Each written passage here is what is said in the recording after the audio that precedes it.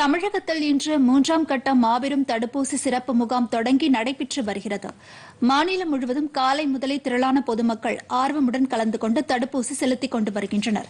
சென்னையில் பல்வேறு பகுதிகளில் நடைபெற்று வரும் சிறப்பு முகாம்களை முதலமைச்சர் மு ஸ்டாலின் நேரில் சென்று ஆய்வு செய்தார். சென்னை அயனாவரம் பெத்தேல் பள்ளிக்கு சென்ற அவர் முகாமில் தடுப்பூசி செலுத்திக் கொள்ள வந்தவர்களிடம் உரையாடினார். மேலும் தடுப்பூசி செலுத்திக் கொண்டது குறித்தும் பொதுமக்களிடம் கேட்டறிந்தார்.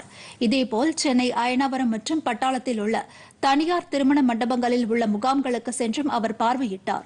சென்னை சென்ட்ரல் ரயில் நிலையத்தில் அமைக்கப்பட்டிருந்த தடுப்பூசி முகாமினை முதலமைச்சர் நேரில் சென்று ஆய்வு செய்தார். இந்த நிகழ்ச்சியின் போது மாநில இந்து சமய அறநிலையத்துறை அமைச்சர் சேகர் பாபு மருத்துவ மற்றும் மக்கள் நல்வாழ்வுத்துறை முதன்மை செயலாளர் ஜெய ராதாகிருஷ்ணன் சென்னை மாநகராட்சி ஆணையர் ககன்தீப் சிங் பேடி ஆகியோர் உடன் இருந்தனர்.